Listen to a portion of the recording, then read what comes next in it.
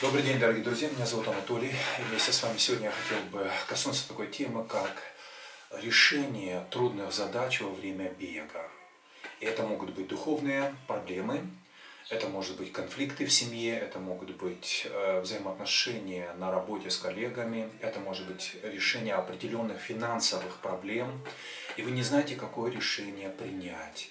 И есть такая практика, вы идете бегать, и во время бега от получаса до полутора часов, то есть это получается от 5 до 15 километров бега, и во время бега вы молитесь и просите у Бога, у Иисуса Христа, Духа Святого, вразумление на решение этой проблемы. И вы знаете, это надо попробовать.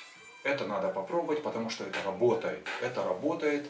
Но работает ли это у всех людей, это другой вопрос. Но в моей личной жизни, в моей практике это работает. Я во время бега молюсь, я во время бега анализирую и решаю определенные как духовные, так и физические, может быть, проблемы, материальные проблемы. И это срабатывает.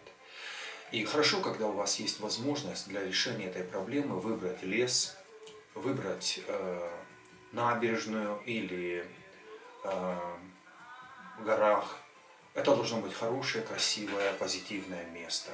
И повторяюсь еще раз, что во время молитвы вы просите Бога на то, чтобы Он вразумил вас.